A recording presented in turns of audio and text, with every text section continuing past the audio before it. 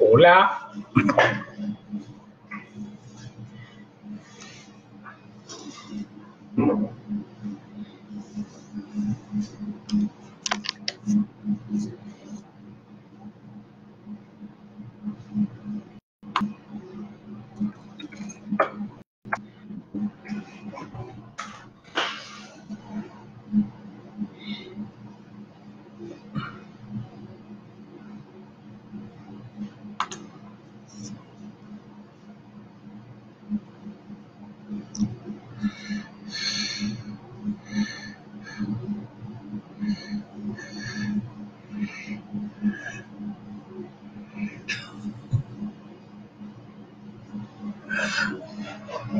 Hola, aquí hay mejor internet.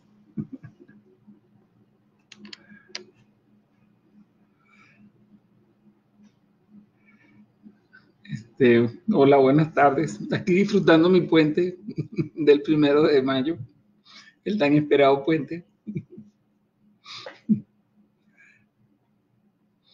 Así que pues esperemos que la gente no haya hecho puente y este nos acompañe en esta actividad de la Sociedad Mexicana de Virología en un esfuerzo por llevar información este,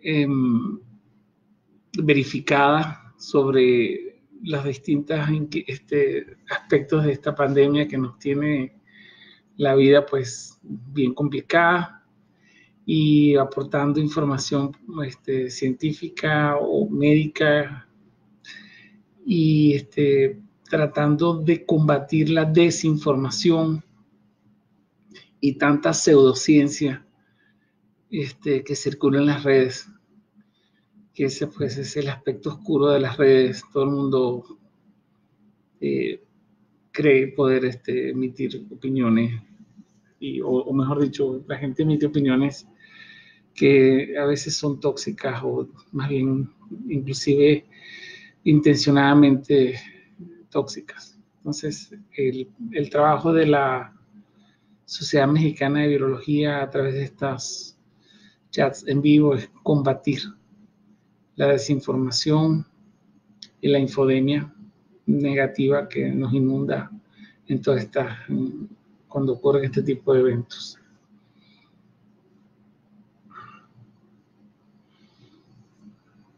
Veremos si hay este, preguntas. Mientras tanto, pues comentar que hay noticias recientes sobre Rendecibir. Estaba viendo que se cristalizó la, la, polimerasa, el complejo de polimerasa de los coronavirus acoplados a Rendecibir y efectivamente pues el rendecibir este, ocupa uno de los sitios catalíticos ahí, desplaza los ácidos nucleicos naturales. Y, pero en términos de estudios clínicos hay unos en China, hecho en Wuhan, otros en Estados Unidos, unos dicen que no o que tal vez no y otros que tal vez sí. El punto que hace la revista Lancet en relación a los estudios clínicos con Rendecibir es que sienten que todavía son estudios pequeños que no tienen suficiente poder estadístico para realmente este, dar el, visto bueno, la luz roja o la luz verde. Menciona la misma revista Lancet que la compañía que manufactura el Rendecibir está adelantando un estudio clínico con 6.000 pacientes y que tal vez ese estudio sí tenga el poder estadístico suficiente para determinar este, eh, si, se puede o no este, em, utilizar con éxito para tratar los pacientes con COVID-19.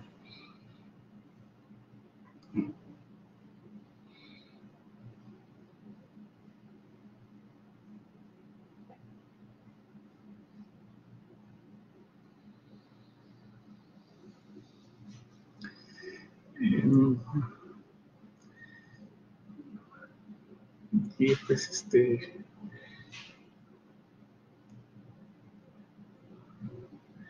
Según veo, tenemos 33 personas visualizando en vivo. Este, si alguien se anima a preguntar, este, ahora 34. Si alguien se anima a preguntar, este, para empezar a calentar el, el chat, este, pues fantástico.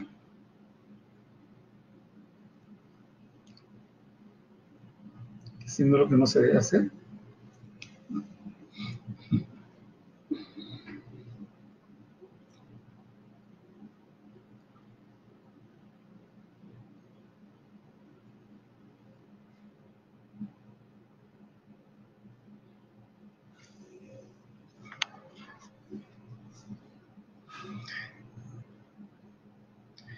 Eh, este, gracias Paloma por acompañarnos. Eh, aparentemente se ve y se escucha bien.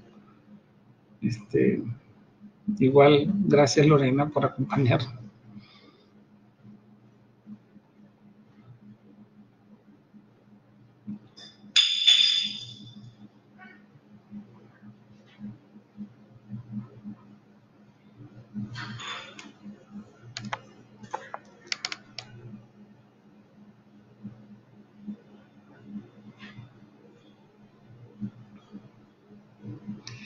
Pues igual seguimos a la espera de las preguntas. Este, y tal vez otra noticia que valga la pena comentar es el hecho de que ya hay este, artículos científicos serios comentando sobre el beneficio de las mascarillas en los pacientes infectados este, controlando la dispersión del, de la enfermedad.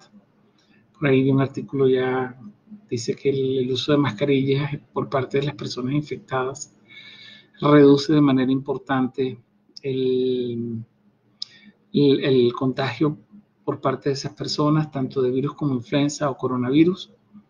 Eso está sabido, pero es bueno ver que hay estudios científicos que corroboran eso. También han aparecido recientemente artículos de modelaje sobre el impacto de las medidas de contención en Wuhan y su capacidad de contener a la epidemia. Eh, como dicen los mismos autores, este, contener una epidemia de virus respiratorios relativamente contagioso y que además este, puede contagiarse en fases asintomáticas no es fácil. Sin embargo, el modelaje que ellos hacen ahí sugiere que efectivamente las medidas de contención de Wuhan sí aportaron al, confinamiento de la, o, retrasaron de manera significativa lo que fue eh, la dispersión de la enfermedad dentro de la misma China.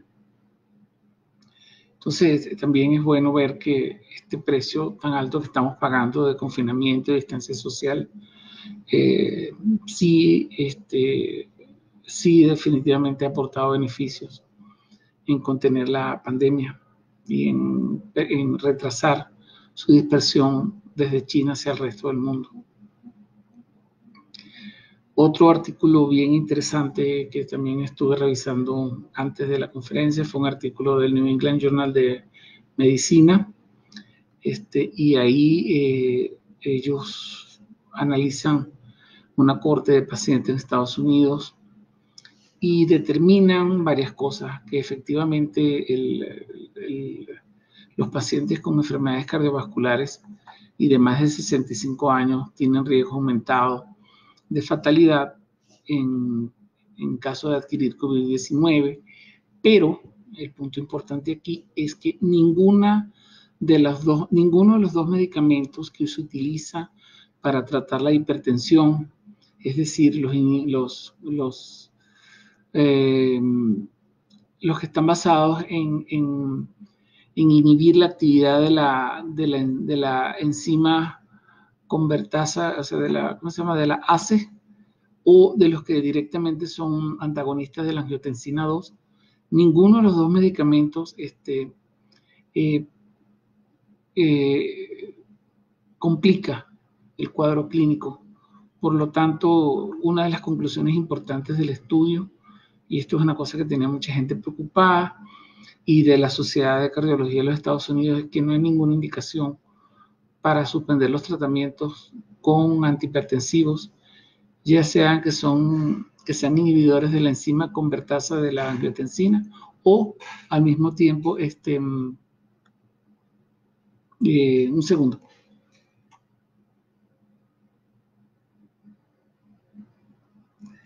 Eh, a ver. Ah, ok, ok, ok.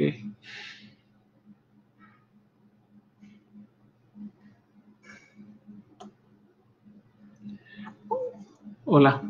Bueno, para terminar la idea, este, mm, no hay contraindicaciones en relación a los pacientes con COVID-19 para suspender el, tratamiento con ninguno de estos dos medicamentos. Aquí ya tengo preguntas, lo que pasa es que el chat no se me había movido. Este, eh, tengo saludos de gente muy conocida y querida, como Ivonne Ceballos, hola, Vilma, hola, este, mm, eh, Lalo pregunta, eh, pregunta, ¿qué tan aproximado crees que sea el tiempo en que se tarde en salir la vacuna y que nos llegue a México? Saludos, atentamente, Sara. Hola, este, Sara, muchas gracias. Mira, eh, lo dicho, una vacuna en tiempos tradicionales, en tiempos este, cumpliendo los esquemas, tarda entre 12 y 18 meses para salir al mercado. O sea, si suponemos que los ensayos de vacuna aparecieron en febrero de este año, pues es difícil pensar en una vacuna antes de febrero del, 20, del 2021. Sin embargo, la gente eh, que hace vacunas y las autoridades regulatorias de las vacunas y de todos estos procesos de fase 1, fase 2 y fase 3 están conscientes de la necesidad de apurar los procesos de vacunación en el caso del COVID-19 y entonces probablemente estas etapas se hagan un poco más cortas. Sobre todo, hay cosas que se pueden ir adelantando aunque represente un riesgo. Por ejemplo, usualmente las compañías que manufacturan las vacunas esperan por lo menos que termine la fase 2 para empezar a, poner a punto los procesos de producción a gran escala. Esto ahora se pudiera cortar si es que la compañía decidiera este, asumir el riesgo de empezar a producir a gran escala y de poner a punto sus stocks y sus, aunque la vacuna vaya en fase 1, por ejemplo. Entonces, esto está en la mesa, lo están considerando, pero aún así yo creo que en menos de 9 o 10 meses, aún así, este, antes de eso no vamos a tener una vacuna. Pero te, repito, Sara, este, la gente sabe que hay que apurar el proceso y están buscando este, algunos atajos este, para hacerlo más corto. Isaac Vivas pregunta, duda, ¿cómo cree usted que se originó la pandemia? El, el, origen de la pandemia es oscuro porque, lamentándolo mucho, el gobierno chino no ha querido este, ser demasiado transparente y me refiero concretamente al gobierno chino eh, en particular. Pero hay dos posibles orígenes. Un origen, digamos, este, natural, por llamarlo de alguna manera. Creo que estas son las dos opciones que están sobre la mesa, que es el que plantea que en el mercado de Wuhan hubo, hubo, una infección de personas a partir de un salto de especie, este producto de la de que el virus pasara de murciélagos a un, huésped intermediario, probablemente un pangolín, y de ahí a humanos. Esa es la versión oficial que se maneja en relación al origen de la pandemia. Sin embargo, en el mismo Wuhan hubo casos que no estuvieron asociados al mercado este de, de venta de animales y otra posibilidad es que el virus se haya escapado por errores humanos de un laboratorio de alta contención que, eh, de virología que también está en Wuhan. Eh, hay noticias en los diarios que en el 2017, en el 2018, ya investigadores extranjeros habían alertado sobre las limitadas condiciones de bioseguridad que se estaban manipulando dentro de ese laboratorio. Este, estas personas estaban estudiando virus del SARS, este, capturando murciélagos y bueno, este, si hubo una falla en el sistema de contención y de bioseguridad y unas personas que trabajan en ese laboratorio se infectaron, fueron a su casa, infectaron familiares y esos familiares fueron al mercado Wuhan, también es una posibilidad que está ahí. Lo cierto es que hay mucho interés en el mundo por entender exactamente el origen de la pandemia, porque eso es una pieza importante para impedir que esto vuelva a ocurrir. Pero de nuevo, la, poca transparencia eh, del gobierno chino no está ayudando en este sentido. Pero yo creo que una de estas dos cosas eh, es lo que pasó. Es importante señalar que no hay ninguna evidencia de que el virus fue construido o hecho adrede o por manipulación genética. Eso sí está totalmente descartado. Gracias, Isaac. Eh, Tonalí Blanco Ayala pregunta, ¿cuál es su opinión al respecto de los pases de inmunidad?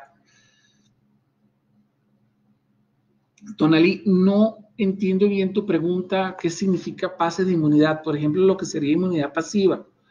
Eh, si estoy interpretando bien tu pregunta, es cuál es la posibilidad de que un suero de un paciente que se haya recuperado pueda ser utilizado para tratar pacientes en una forma que se llama inmunoterapia pasiva. Si eso es así, pues mira, este, eso es una de las opciones que se está este, investigando muy seriamente. Este, la OMS dio el mandato de que ese tipo de tratamiento, es decir, lo que sería inmunidad pasiva o el tratamiento con gamma globulina de pacientes recuperados para tratar pacientes en COVID-19, se investigue para evaluar su potencial. Aquí, por supuesto, hay varias cosas que hay que contemplar.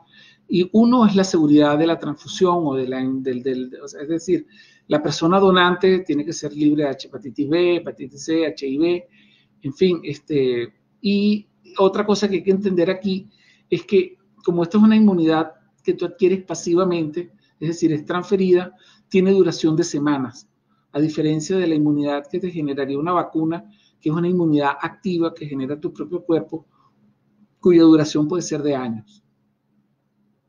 Victoria Pando, hola Vicky, ¿cómo estás? Em, ¿Sabes algo acerca de los estudios sobre fármacos que se están realizando, que está realizando la OMS en varios países? Pues yo entiendo que por mandato de la OMS este, hay una cantidad de estudios clínicos que se están desarrollando en paralelo. El tratamiento de cloroquina con acitromicina es uno de los que se está evaluando aquí en México. El tratamiento que le comenté hace poquito a Tonalí respecto a la inmunoterapia pasiva también está siendo evaluado aquí en México y en el mundo, así como el los varios antivirales como el remdesivir, el ritonavir. Hoy vi un estudio hecho en China con ritonavir que dice que no hay ningún efecto beneficioso de este antiviral sobre los pacientes con COVID-19. Pero creo que, y eso se lo oí también decir al secretario López Gatel, hay cuatro protocolos clínicos al menos que se están desarrollando aquí en México. De memoria, me recuerdo el de cloroquina y citromicina, el de, el de inmunoterapia pasiva, y el de Rentecivir, tal vez otro más que se me está yendo. Pero sí, y yo me imagino que todos los países están evaluando eso en paralelo. Eh, Marta Solís pregunta, buenas tardes. Buenas tardes, Marta. Eh, Martín Solís, perdón. Buenas tardes. Martín pregunta, ¿qué esperanza o qué tan factible es la efectividad del fármaco Rendecivir para el trato de los pacientes, cuáles son sus efectos secundarios. Según ley hoy, el efecto secundario es un problema renal, este, pudiera este, traer toxicidad eh, eh, a nivel de riñón. Pero te digo una cosa, Martín, Rendecibir parece ser el caballo que más está recibiendo apuestas en esta, en esta búsqueda de antivirales contra el COVID-19. El mayor, la, la, droga que mayor atención ha traído ha sido el Rendecibir. Este es un análogo de un nucleótido de adenosinas.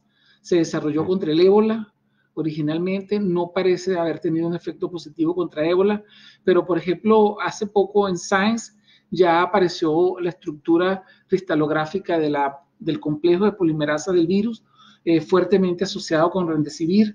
Eso es evidencia pues de que sí se unen in vitro, hay un salto muy grande a que funcione en el cuerpo del paciente, porque bueno, ahí tienes que ver tiempo de vida media, dosis, este, disponibilidad de la droga, como llaman los toxicólogos, y un montón de otras cosas. Pero yo creo que si alguno va a llegar a, ser probado este, exhaustivamente y vamos a saber si realmente funciona o no, es el Remdesivir.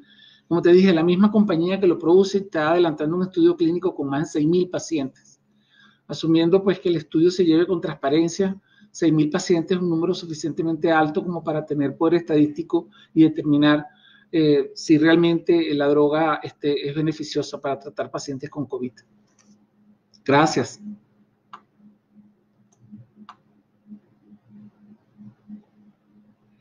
Isaac Viva pregunta, ¿de qué depende que una persona con el virus sea sintomática o no? Pues este, no sabemos. Pero en general, este, la respuesta depende de varios factores. Uno, pues de, la, de, tu condición genética. Pudiera ser que haya pacientes que tengan el receptor del virus con pequeñas mutaciones que lo hagan menos eh, afín, en fin. Otra cuestión es la calidad de tu respuesta inmune. Si tienes una respuesta inmune robusta, este, probablemente controles la infección como lo hace la mayoría de las personas. También sabemos que si la respuesta inmune se descarrila o se descontrola, entonces ya tienes efectos en la salud, eh, tiene como producto de, de, la respuesta inmune exacerbada, que entonces ya no es beneficiosa, sino perjudicial. Entonces tienes una inmunopatología asociada a la infección y también este, otro aspecto es la carga viral a la que te expongas. Tal vez si la carga viral a la que te expusiste, la cantidad de virus inicial que entró en tu cuerpo es baja, tu cuerpo tenga posibilidad de controlarlo bien. A lo mejor si te expusiste a una carga viral demasiado alta, este, eso rebase tu capacidad inmune y entonces sí tengas un cuadro clínico, pero usualmente, este, y hay otro factor que probablemente aquí no juegue, que es la virulencia propia de la cepa pero lo que dicen los estudios genéticos es que todas las cepas de COVID, de SARS-CoV-2 que circulan en el mundo son idénticas, al 99, tanto por ciento. Y este, inclusive las mexicanas son 99,9%, las heladas de México con la que originalmente se dio en China. Entonces, vamos a descartar esa, esa variable y pensar que tiene que ver con la carga viral a la que te expongas y este, a tu condición genética y a tu calidad de respuesta inmune. Gracias, Isaac. Gina García Romo pregunta. El doctor que ganó el premio Nobel por el descubrimiento del HIV ha hecho recientemente comentarios controversiales sobre el origen de los coronavirus. ¿Usted qué opina? Gracias, Gina, por la pregunta. El doctor Luc Montagnier este, fue el galardonado con el premio Nobel junto con otros virólogos por el descubrimiento del VIH. Hace poco el doctor Luc Montañé, yo no lo creía, vi el video diciendo que este, el virus fue manipulado genéticamente y que este, el virus del SARS-CoV-2, este, a ese virus se le introdujeron secuencias pequeñas de HIV. El doctor Montañé no tiene ninguna evidencia experimental para decir eso. Basó sus comentarios en un artículo publicado por un grupo de científicos hindúes y en la misma nota periodística donde lo leí decía que los, científicos hindúes habían retirado el artículo de la revista porque no habían podido validar los datos. Entonces, este, a pesar de que la opinión del doctor Montagnier, y es un virólogo, yo creo que en este caso este, él no tiene evidencia experimental para afirmar lo que afirmó. Y de hecho la reacción de la comunidad científica hacia él fue fuerte incluyendo gente del propio Instituto Pasteur que dijeron que no había ningún fundamento ni asidero que sustentaran lo que el doctor Luc Montagnier estaba diciendo en relación a la manipulación del COVID-19, de, perdón, del virus causante del COVID-19.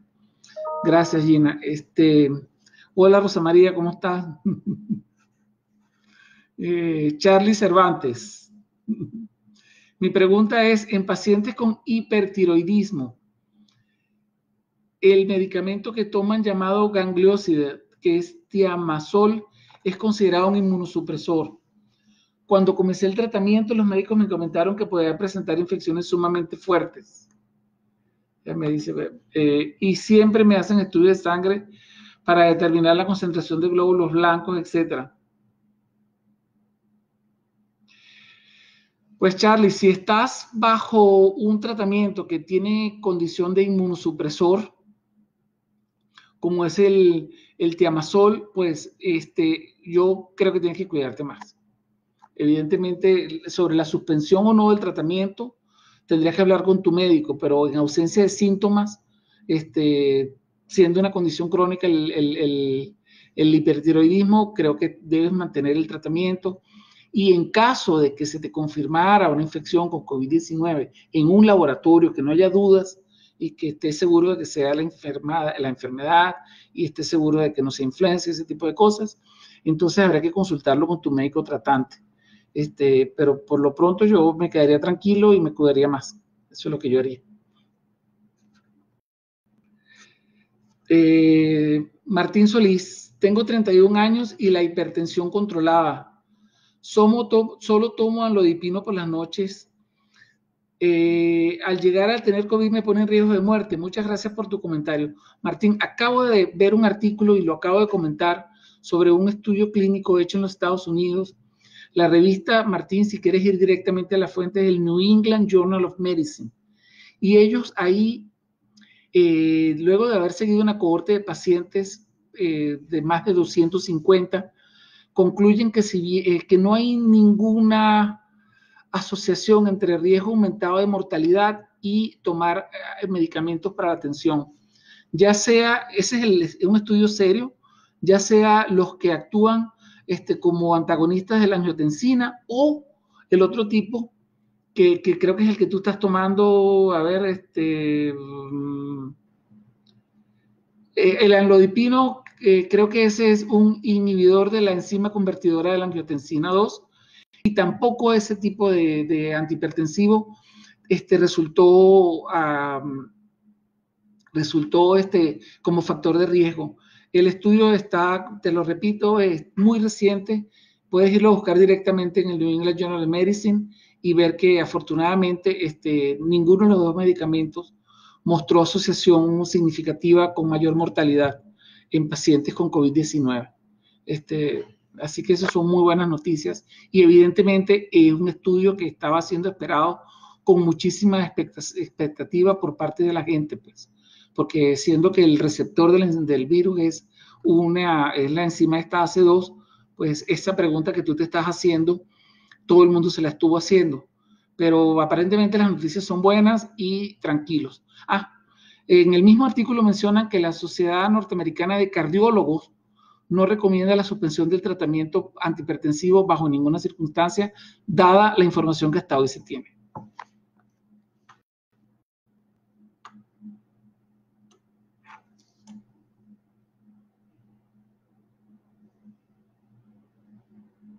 Kevin Galito pregunta, si una vacuna este, evaluada en una población asiática pudiera tener un, efecto diferente en otra población genéticamente distinta, como sería, por ejemplo, la población de México. Kevin, este, afortunadamente no somos tan distintos. Este, yo que de vacunas virales he leído algo, no sé de ninguna vacuna de ninguna, ni de polio, ni de sarampión, ni de influenza, que funcione mejor en una raza que en otra. Hay evidencia buena de que la vacuna de influenza, por ejemplo, funciona mejor en mujeres que en hombres. Y eso es un, esos estudios muy bonitos que hay. Pero en términos de raza, no. Así que yo anticiparía que no hay ninguna, o sea, que no tendríamos por qué esperar que una vacuna desarrollada o ensayada en una determinada población vaya a presentar una eficacia limitada en otra población. Este, parece que las diferencias tienen que ver con sexo, eh, con género, este, pero no con raza. Gracias, Kevin, por tu pregunta. Checho Cristiano pregunta, eh, perdón, déjeme ir bajando aquí.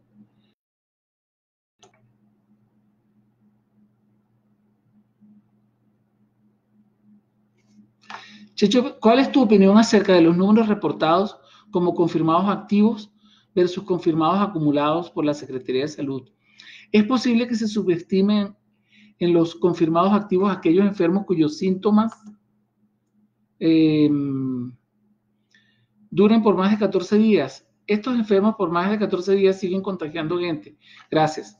Mira, Checho, es imposible este, tener el número exacto de personas infectadas, sobre todo si no hacemos pruebas serológicas. Hay personas asintomáticas, personas este, transmisoras.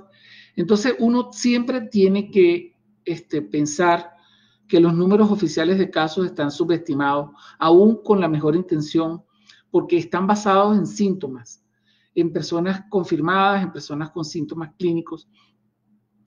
Y no hay manera, pues, de pescar a, los, a las personas que son asintomáticas o a menos que hagas muchas, muchas, muchas pruebas moleculares, que es lo que recomienda la OMS y es la manera como atacó la epidemia de Corea del Sur. Pero eh, como la está manejando la Secretaría de Salud Pública de México, uno podría pensar que el número de casos que se reporta es un subreporte y que hay casos asintomáticos o leves que no están siendo pescados por los sistemas de vigilancia. Eh, ¿Cuál es el factor de la diferencia por 10, por 20? No me atrevería a decir, pero seguro que hay un subregistro. A menos que, te digo, pruebes muchas, muchas personas aún asintomáticas con pruebas moleculares para poder decir, este, acercarte un poco más al número real de casos que están ocurriendo en México. Joaquín Peñaflor, hola Joaquín, ¿cómo estás? Eh, una duda de haber completado y comercializado una vacuna contra SARS, es decir, me refiero que al SARS de 2002-2003, pudo haber brindado inmunidad cruzada contra este virus. ¿Vale la pena desarrollar una vacuna contra SARS-CoV-2 aún si ocurre algo similar con esta pandemia y el número de casos se reduce a cero? Eh, yo creo, yo de entrada que SARS-CoV-2 y SARS-CoV no son iguales.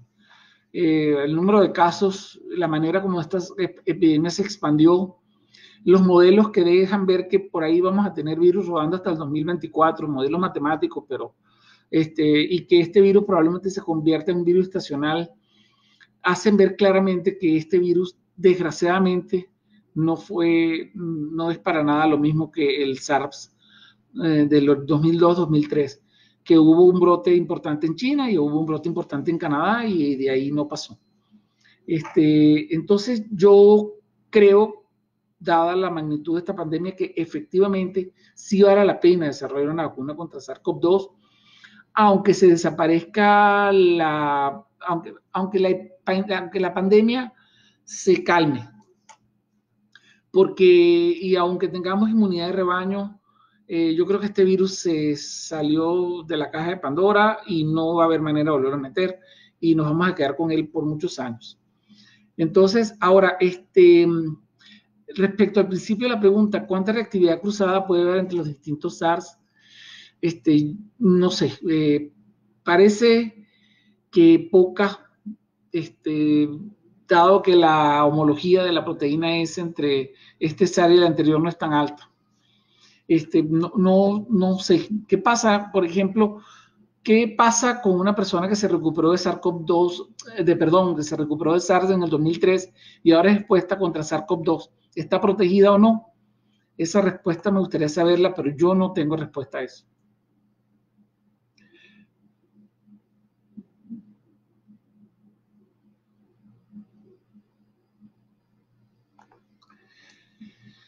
Victoria Pando pregunta, este, ¿los cubrebocas pueden tener un efecto positivo para evitar la transmisión del virus? Los estudios dicen que la contribución de los asintomáticos a la transmisión es entre el 6 y el 12%. Yo creo que este, en este momento, por ejemplo, aquí en México, debemos tratar de usar tapabocas porque estamos todavía en esta fase exponencial y yo creo que tengo nada, pero cuando salgo a la calle me pongo el tapaboca más pensando en que yo no quiero ser un transmisor este, silencioso que todavía no tiene síntomas, a pensar, a pensar que me estoy protegiendo a mí mismo. Este, un, definitivamente hoy vi un estudio, por ejemplo, en Nature Medicine, donde dicen que las mascarillas son muy, muy efectivas previniendo la dispersión de gotículas de personas infectadas con influenza o con coronavirus. este es un virus particularmente complicado en el sentido de que la gente, por ejemplo, hay un buen reporte de un brote en Alemania, de personas que vinieron a China, fueron unas convenciones en Alemania, eso está bien documentado ahí en el New England Journal of Medicine, y estas personas de China contagiaron un montón de personas en Alemania y se regresaron sin síntomas. Los chinos fueron y vinieron y no tuvieron sintomatología. Entonces, este, mientras no sepamos nuestro estado, yo creo que por lo que vale un tapaboca vale la pena usarlo. Este, más pensando en no dispersar virus inadvertidamente que en la protección que nos pueda brindar a nosotros. Esa es mi posición personal al respecto. Diana Mojica pregunta. Ah, ok, que por favor. Muchas gracias, Diana, por promocionar. Uy, esta pregunta eh, que hace QVP Mike, este, mm, ¿cuál es su opinión sobre lo que se dice de los verdaderos efectos del COVID-19 sobre la coagulación de la sangre? Ay, esa pregunta no la quería Mike. Porque he oído un montón de audios este, y, opiniones médicas diciendo que el COVID este, cursa con una coagulopatía intravenosa diseminada y que probablemente no sea exacta, total un tema de, tan de tracto respiratorio superior como lo habíamos pensado. Hoy en la literatura no vi nada al respecto. O sea, la literatura sigue considerando al COVID, perdón, como una enfermedad, de, eh, como un problema respiratorio de las vías respiratorias bajas, compromiso pulmonar, eh, tormenta de citocinas, este, respuesta inmune exacerbada, pero respecto a, las alteraciones de respecto a las alteraciones en la coagulación que se habla en los audios médicos que me han llegado, no vi nada en la literatura. Me encantaría ver este, información fuerte sobre el tema. Sobre todo argumentan que hay estudios en Italia que ahora dicen que es así. Pero yo, Mike, no he visto nada al respecto. Eh, esto sería un cambio de paradigma importante porque todavía lo que estamos pensando es que se trata de una enfermedad con compromiso respiratorio y no un problema de coagulopatía diseminada. Entonces, este, esperemos para ver. Yo sí estoy, yo sí quiero saber. Gracias, Mike, por tu pregunta.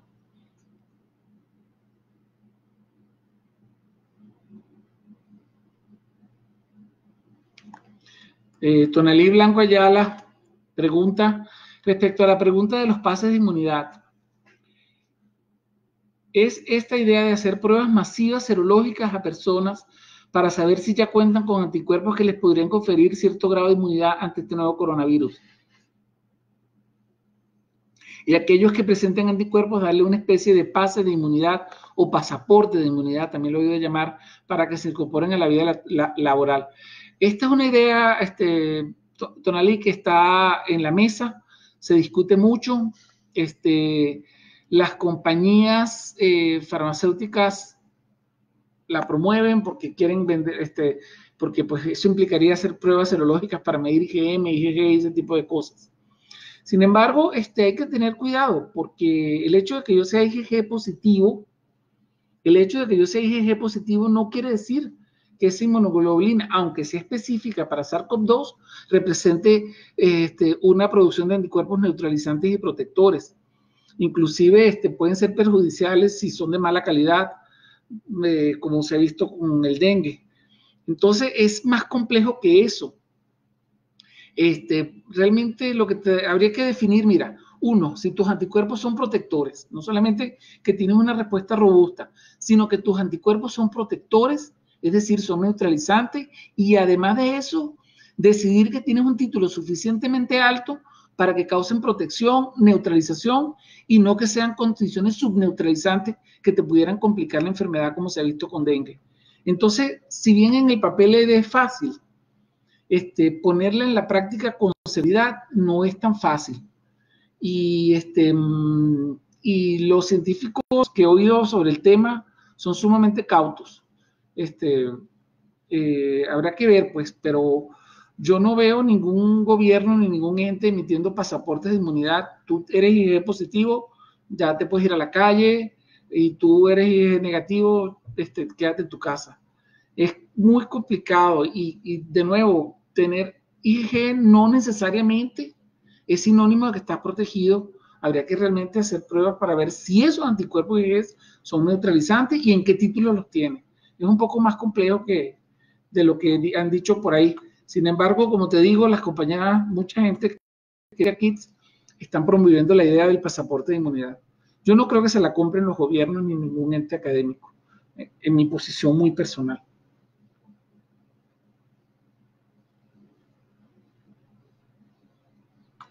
Magdalena Nieto pregunta, hola doctor, ¿qué características debe tener una vacuna para que sea para virus y no para una bacteria en específico? Magdalena, eh, las vacunas son específicas para el antígeno contra el cual, este, o para el virus contra el cual, o la bacteria contra la cual se producen. En otras palabras, las vacunas generan inmunidad solamente contra el bicho que está en la vacuna. Entonces, eh, las características de una vacuna para las características de una vacuna antiviral son pues que este, sea inmunogénica, que sea segura y preferiblemente que cause una inmunidad larga en el tiempo y además de eso que sea barata para poderla aplicar masivamente si se trata de vacunas como las de influenza o dengue. Hay otras vacunas este, que están en el mercado, que cumplen con esas características, pero son sumamente costosas y eh, entonces, bueno. Em, entonces, y si es una vacuna para bacterias, lo mismo. El antígeno que va en la vacuna es un antígeno bacteriano que no produzca problemas de toxicidad, que no tenga eh, reacciones eh, secundarias fuertes indeseables, este, y que por supuesto genere una inmunidad entonces, pero es importante el concepto aquí, eh, perdón, tu pregunta. Es importante aquí mantener el concepto de que la vacuna te protege contra el bicho que está en la vacuna. Si es un virus, contra el virus en particular, y si es contra una bacteria, contra una bacteria en particular. Eh, por ejemplo, no puedes pensar que una vacuna contra influenza te vaya a proteger contra el COVID-19 o contra el sarampión eso es importante.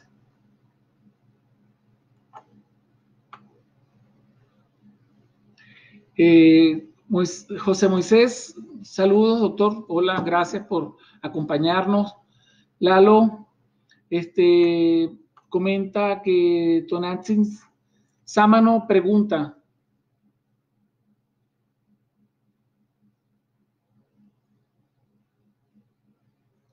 ¿Cuál es el mecanismo por el cual el SARS-CoV-2 daña los riñones a tal manera que los lleva a los pacientes en insuficiencia renal? ¿Todos los casos la tienen o hay algún factor que lo predisponga? Eh, la verdad que las bases para una insuficiencia renal en pacientes con COVID, con SARS-CoV-2, las desconozco. Ni siquiera había oído decir que había compromiso renal en estos pacientes. Eh, eh, así que, pues, este, eh, Román, no, no, tengo respuesta para tu pregunta este, específica en, en, relación a COVID-19. Una disculpa. Si alguien por el chat este, me puede ayudar, se agradece. Este, eh, Lorraine Mercado pregunta una, muy interesante. Se dice que hay distintas variaciones en SARS-CoV-2 en los distintos países. Si esto es cierto, ¿tendría que haber distintas vacunas? No. Eh, sí hay variantes, o sea, el virus se va reproduciendo, se va, va, y hablan de tres linajes. Hay un artículo en PNAS que habla del linaje A, B y C. Este, pero los linajes no han diferido lo suficiente como para impedir que una vacuna proteja contra cualquiera de los tres. De hecho, estaba viendo una nota publicada por la UNAM donde dice que el virus los virus que se secuenciaron a partir de pacientes mexicanos, todos vienen de Europa y tienen una similitud del 99,9% con el original de Wuhan. Entonces, este, la respuesta a tu pregunta, Lorraine, es no. Si en el tiempo, 100 años, el virus diverge lo suficiente, pues entonces habrá que pensar en, en modificar o corregir la vacuna. Pero ese no es uno de los problemas que preocupa ahorita a los productores de vacunas. Si está pensando en influenza, el virus de influenza es el campeón de las mutaciones, el campeón de las variaciones genéticas y es un virus en ese sentido muy diferente, afortunadamente, este, a este virus del COVID-19 que dentro de los virus de RNA es de los más estables que hay.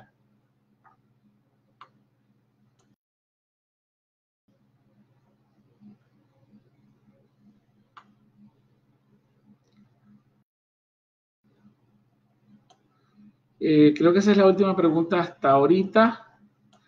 Este, mm, pudiéramos haber un diálogo con ustedes. Sé que hay personas aquí muy entendidas en biología que me están viendo sobre la pregunta que me hicieron en relación a la complicación renal y, este, y los casos de COVID-19. Yo no tengo nada que comentar al sentido porque no he leído nada al respecto.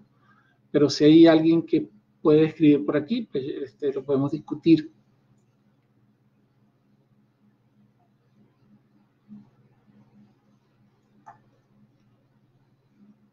Aquí tengo una pregunta. Eh, eh, José Ramón pregunta, ¿cree que algunos antivirales existentes como lo son para el VIH, etcétera, pueden tener una alternativa para evitar la replicación del virus y sea una solución terapéutica para el COVID-19? ¿Qué opina el Remdesivir? Eh, José Ramón, habíamos, ya hemos comentado que lo primero que se hace cuando tenemos un virus nuevo es este, ir al, al, al armario y ver cuáles son los antivirales que ya se tienen ahí fracasados o no. Porque eso adelanta mucho las pruebas en el sentido de que muchos de estos antivirales ya pasaron por pruebas en humanos de seguridad y de efectos secundarios y ese tipo de cosas. Ahora bien, este, a pesar de que las polimerasas de los virus con genoma de RNA son muy parecidas entre ellas, pues sí existen, sí existen diferencias entre ellas y la afinidad de los distintos antivirales por la polimerasa puede cambiar. Eh, yo creo que el Remdesivir que se desarrolló para ébola y que para ébola no funcionó, parece ser este, uno de los que va a terminar este, eh, en la lista de los antivirales específicos para COVID-19. Hay un, hay un estudio de Estados Unidos que dice que sí es prometedor. Hay un estudio que estuve viendo hoy en Wuhan, eh, un estudio con 260 pacientes. No deja ver claros los beneficios del remdesivir en los pacientes con COVID-19, pero este, definitivamente viene información y como dije, en, el mundo de las apuestas de los antivirales, el caballo que está recibiendo las mejores apuestas y el favorito es el Remdesivir a este momento.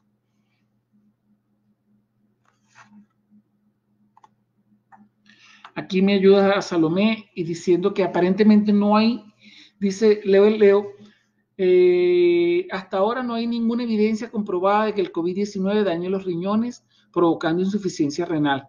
Gracias, Salomé, por ayudar. Eh, Débora pregunta, este, ¿existe información sobre qué tan rápido está mutando el virus del SARS-CoV-2? ¿Por qué se dice que en México se han identificado dos cepas de este virus? Gracias, este, Débora. Eh, el virus sí cambia, sí cambia, pero eh, la tasa de cambio de los coronavirus es relativamente lenta en relación a otros virus de RNA. Este, en un artículo que se publicó en una revista muy prestigiosa que se llama PNAS, identificaron tres linajes del virus, como dije, A, B y C, pero las diferencias son sutiles y para los efectos prácticos no implicarían tener que adoptar, eh, adaptar las vacunas, tampoco implicarían tener que adaptar los antivirales. Eh, es decir, que estas son más diferencias genéticas que le permiten a los científicos trazar, eh, hacer lo que llaman epidemiología molecular, trazar los orígenes del virus, cómo se mueve, hacia dónde va, por ejemplo, es importante saber los virus que, tenemos en México llegaron de China, llegaron de Europa, ese tipo de cosas te lo dice esta clase de análisis. Pero para efectos prácticos no hay diferencias clínicas atribuibles a estos cambios, ni tampoco hay que preocuparse de que la vacuna deje de proteger contra una variante si protege contra la otra o que un antiviral sea funcional contra una variante si no lo es contra otra. Eh, te digo, la principal implicación de estos eh, estudios de secuenciación profunda y de caracterización genética es conocer, digamos, el camino que ha seguido el virus para llegar a México y cómo va evolucionando dentro de la comunidad. Pero a este punto, para efectos prácticos, no hay ninguna eh, consecuencia de esas variantes genéticas. Perdón, que se me aquí. Eh, de ahora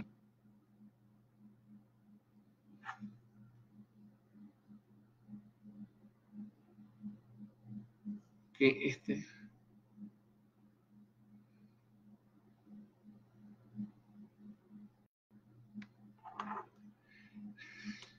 A esa fuente pregunta, ¿qué puede decirnos sobre la aceleración de procesos de producción de vacunas que se dice está ocurriendo en Alemania, Inglaterra o incluso en China? ¿Será que habrá vacuna segura antes de que finalice el año? En dado caso, puede lograrse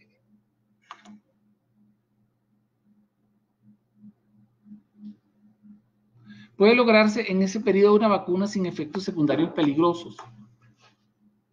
Mira, como comenté, las vacunas normales, no en tiempos de guerra de COVID-19, toman entre, un, entre 12 y 18 meses para desarrollarse.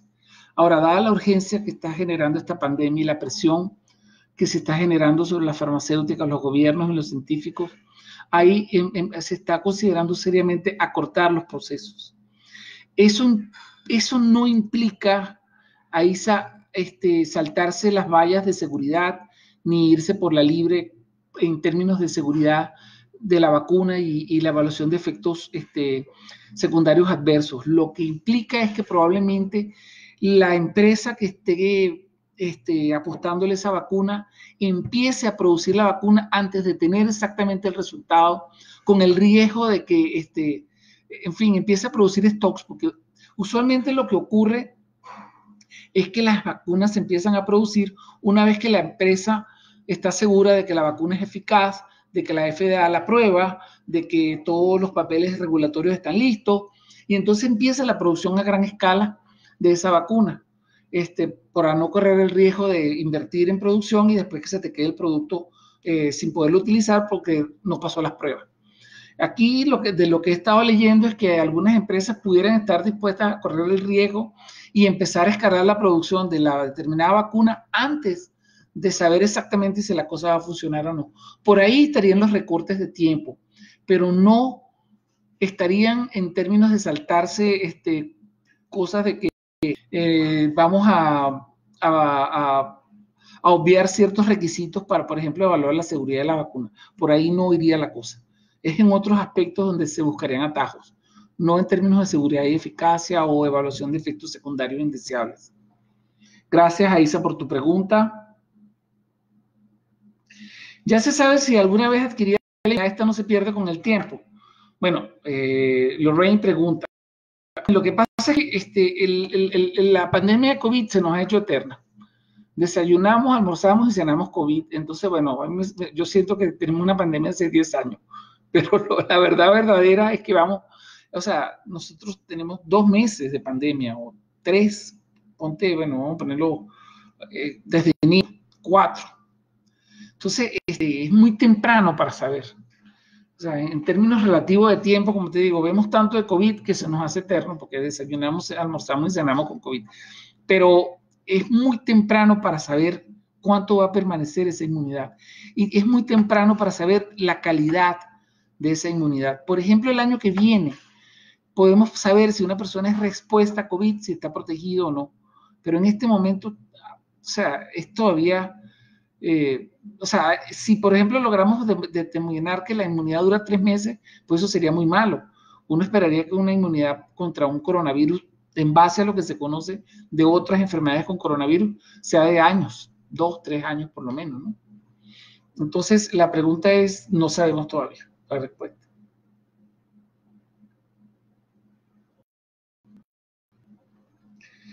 Creo que, ¿Cree que haya desabasto de civil o se produce lo suficiente para satisfacer la demanda ¿Y qué pasa en México? ¿Hay suficiente?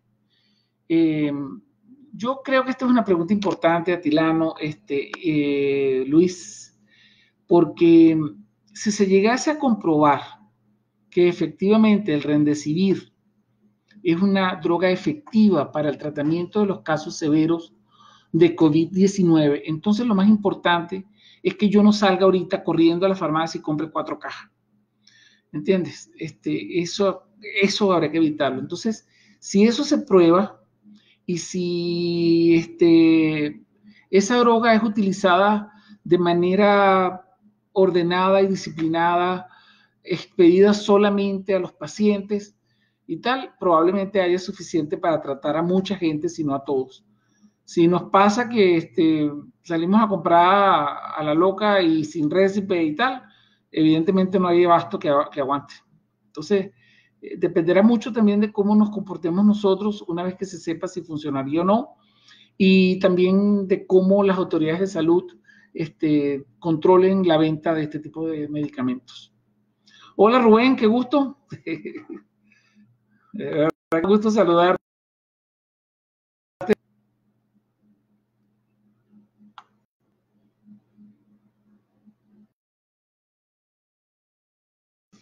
Eh, a ver.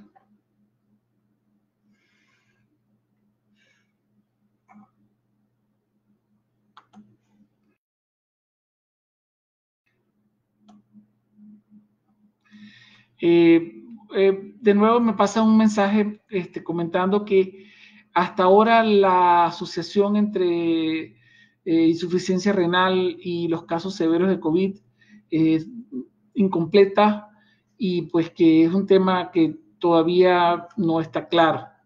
Es decir, parece que hasta ahora no hay asociación entre insuficiencia renal y este, casos severos de COVID-19.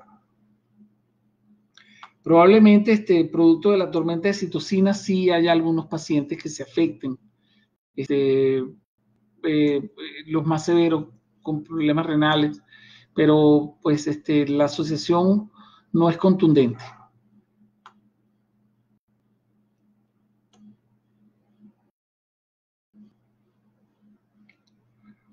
Este, gracias, Denora, da las gracias por, por, este, por la respuesta. Ojalá te haya sido útil. Débora, este, que está saludando y nos está viendo desde Dallas, en Texas. Este, muchas gracias, Débora, por tu compañía.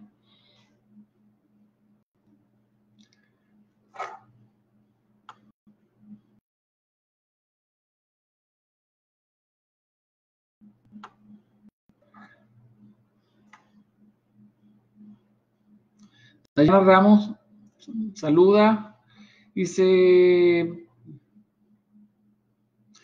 eh, ¿qué opinión le muestran los supuestos casos de reinfección? Una persona que en México dio positivo para el virus, este,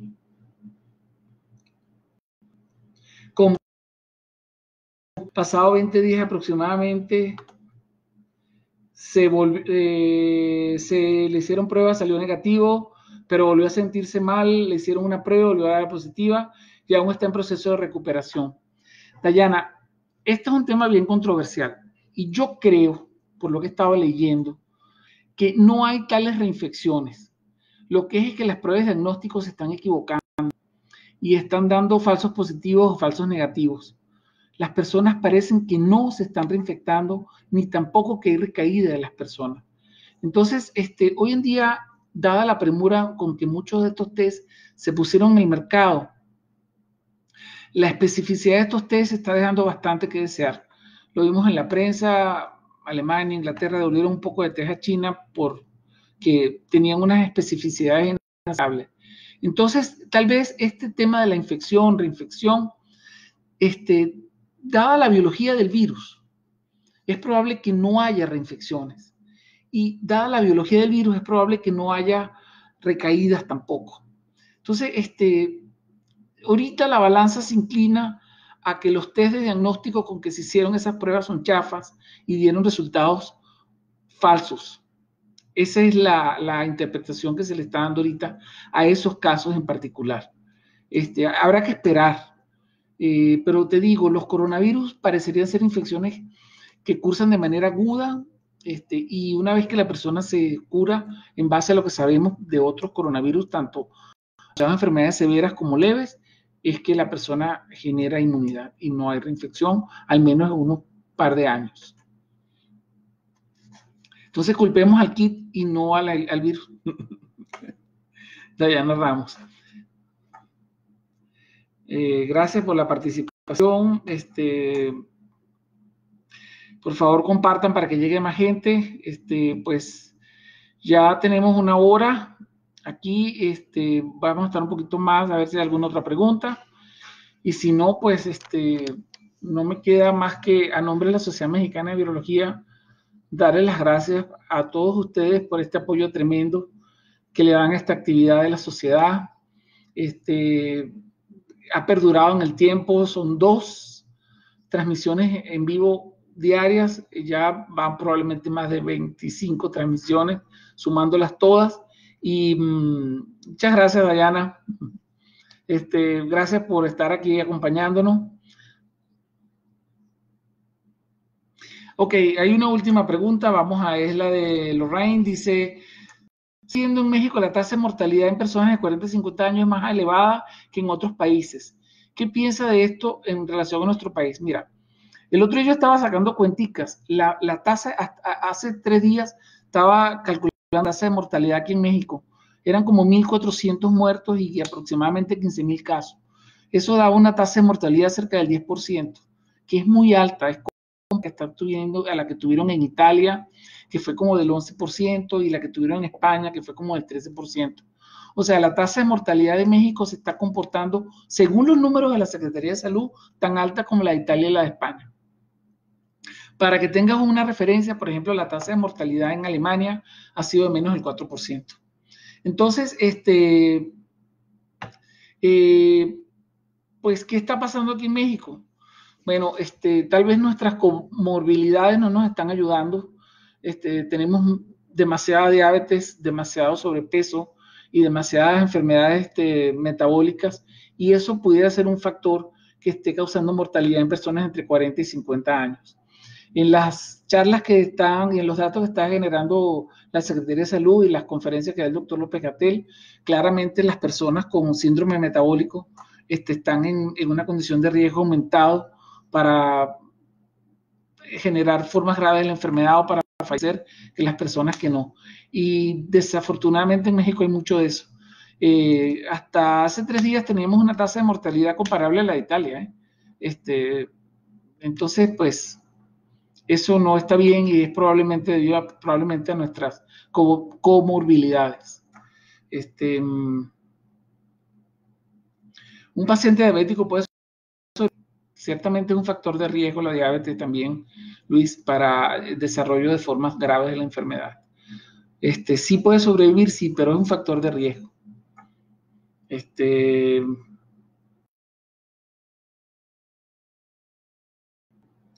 Ajá, aquí está hablando Martín Solís, dice, ayer salió un estudio publicado en Corea del Sur donde se habla que no hay reinfecciones, sino que quedan rastros del virus ya muerto, dice él, y por eso salían los test positivos. Bueno, probablemente ya esos virus no sean infecciosos. Eh, por ejemplo, si el test se hace con PCR en tiempo real, es sumamente sensible, puede haber ácidos nucleicos todavía circulando en sangre, pero no necesariamente virus. Y por eso este, puede ser un problema también o de sobresensibilidad del test o de baja especificidad del test. Creo que con esa pregunta este, nos despedimos. Muchísimas gracias por su tiempo. Irma, gracias por estar aquí y saludar. Sigan disfrutando su puente. Este, ok, y muchísimas gracias por, por acompañarnos y de nuevo, a nombre de la Sociedad Mexicana de Virología, mil gracias por su apoyo.